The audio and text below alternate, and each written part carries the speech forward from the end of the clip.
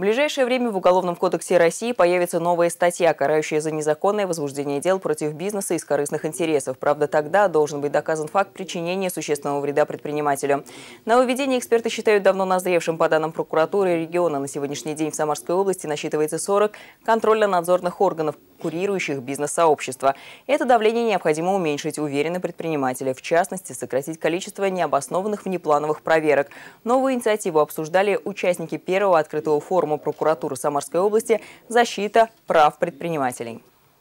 Это новинка, новелла, как мы говорим в законодательстве. В практике, конечно, применения нет этой нормы.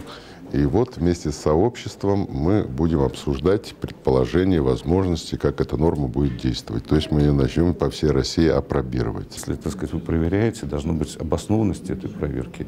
Если это есть план проверок, значит, предприниматель должен знать. Если внеплановая, значит, она, наверное, связана, может быть, с риском для здоровья там, граждан, людей, которые, так сказать, пользуются услугами той или иной там, предпринимателя или отраслевые какие-то вещи.